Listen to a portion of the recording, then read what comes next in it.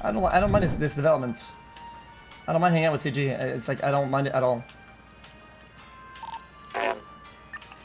They can progress. They have enough to progress, and also, it's also fun. It's both. I don't. I have no problem with it.